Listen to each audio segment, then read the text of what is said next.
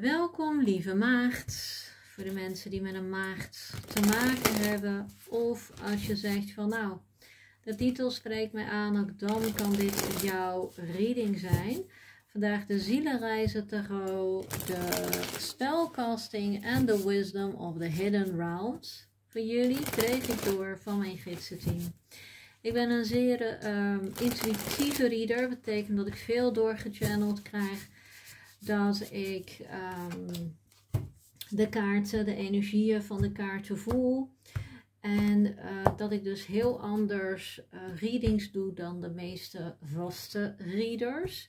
Kijk eventjes of dat jou aanstaat. Als het je aanstaat, ik heb nog drie andere tarotkanalen. Doe daar je voordeel mee.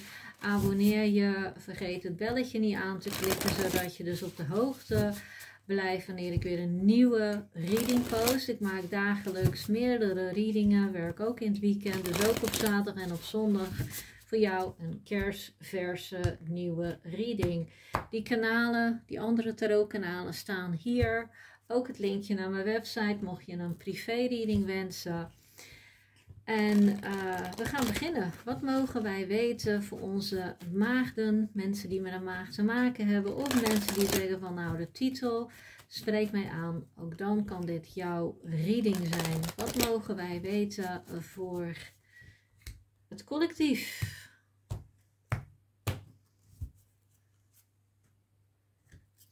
Geen fouten meer maken, hoor ik. Misschien heb je het gevoel dat je verkeerde keuzes maakt, dat je mm, veel levenslessen hebt geleerd, uh, blokkades, um, zeker met betrekking tot de liefde, hebt moeten overkomen. En um, je hebt je buik daarvoor vol. Je wil nou eens gelukkig worden, je wil nou eens gelukkig zijn, je wil nou eens uh, goede keuzes maken. En dan zal je dus toch meer naar je intuïtie moeten gaan luisteren. Wat mogen we hierover weten? Ja, je hebt veel verdriet met grieving gehad. Veel levenslessen achter je kiezen. Maar aan de andere kant mag je daar ook dankbaar voor zijn. Dat jij die levenslessen hebt geleerd. Dat je inzicht hebt gekregen. Dat je hebt gegroeid. En dat je daarom ook met die vlinder uh, steeds verder tot bloei komt. Ik denk dat je al heel veel zaken waar je onder gebukt ging, dat je, dat je jezelf daarvan verlicht hebt met lighting your load.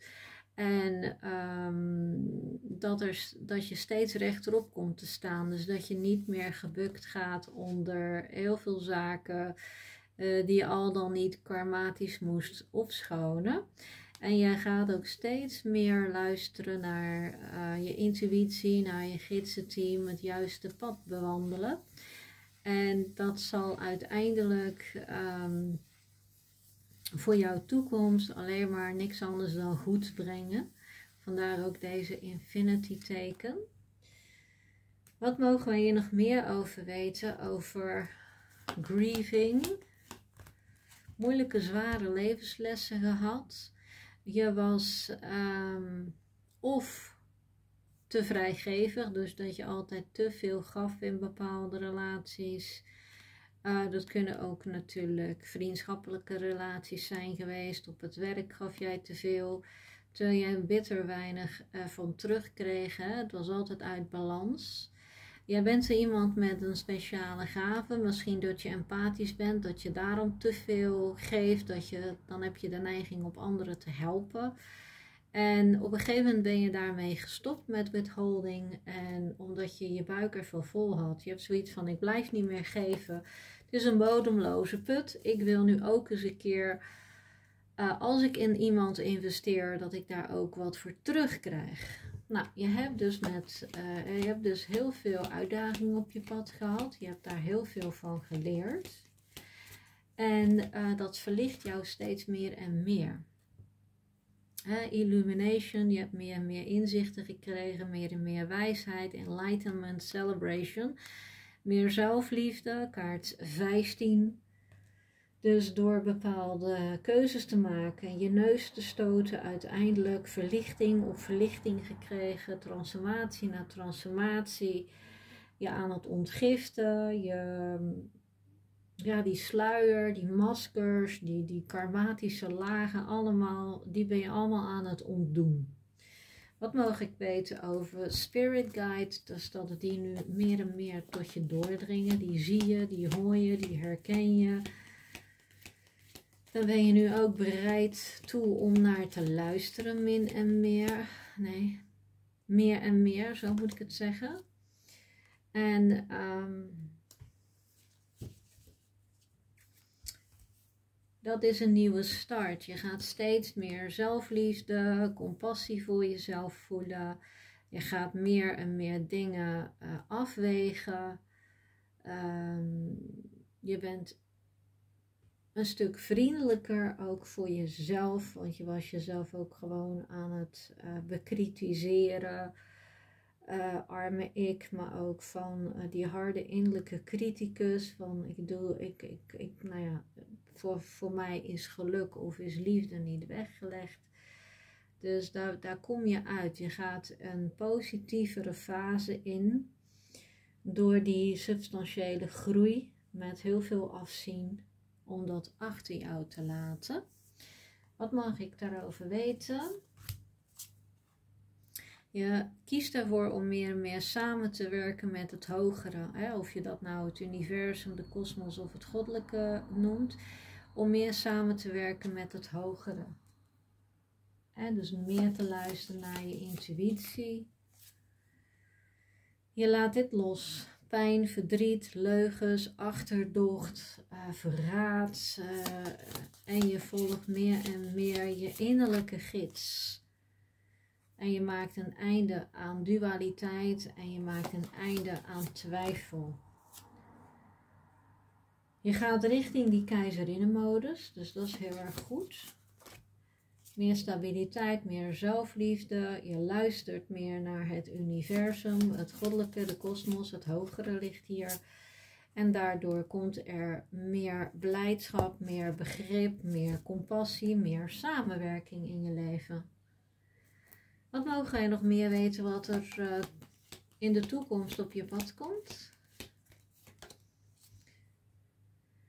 Dat je meer zelfzeker bent, dat je bewust acties onderneemt, dat je bewuste keuzes maakt, dat je zeer dankbaar bent. Um, dat soort zaken, dat is een hele andere energie. Dat er ook een levenspartner op je pad komt. Dus dat is ook heel erg mooi, want dat is een van je wensen, hoor ik. En dat je dat twijfelen, hè, die zelfsabotage, uh, dat je dat allemaal achter je laat. Dat je meer zelfverzekerd wordt in uh, en op jouw reis. Wat mag ik nog meer weten over deze bewustwordings- en groeifase? Je psychic abilities, dus inzichten, maar ook uh, als jij al helende aspecten hebt, helende handen of anderszins bijzondere gaven hebt, dan gaat dat zich verder ontwikkelen. Je gaat uh, vergiffenis tonen voor alle partnerschappen die jou heel veel pijn en verdriet hebben gedaan, zodat je verder kunt, zodat je dat kunt opschonen, zodat je dus je rugzak kunt uh, loslaten. En ik denk dat je uiteindelijk door uh, die zelfsabotage, die lage vibratie, uh, hè, en meer zelfbewust, dat je dus um, jouw creativiteit niet langer meer saboteert, maar dat dat tot uiting gaat komen. Je gaat je veel vrijer bewegen en dan komen je talenten naar boven. In plaats van dat je die onderdrukt. Wat mag ik weten over uh, dat je jezelf bewuster gaat zijn? Heel veel zaken, nostalgische zaken ga je loslaten. Ga je heel veel lering uittrekken. Ben je blij omdat je die toch hebt geleerd. In een partnerschap zal jij meer en meer je mond open gaan trekken. Dus je gaat meer durf tonen, meer communicatie. En er gaat een verandering plaatsvinden binnenin jou. Zodat je niet meer in die lage vibraties um, toch weer gaat um, afdalen. Psychic abilities worden verscherpt. Je gaat steeds meer de waarheid zien. Kan ook zijn dat dit staat voor helderziendheid. Omdat je jezelf, ehm, maar ook anderen vergeeft. Ga je naar rustige vaarwater en kom er een bepaalde optie binnen met betrekking tot een van jouw talenten. We gaan in de verlenging verder kijken wat het allemaal precies betekent. Dus wat er dus voor ontwikkelingen zijn binnen jouw relatie of toekomstige relatie. Als jij dus meer gaat communiceren. Potentieel binnenin jouw talenten. Hè, uh, maar ook wat dat uh, voor de rest nog gaat betekenen voor je. Dus ik zie, het, ik zie je zo terug. En anders bij een volgende reading. Namaste.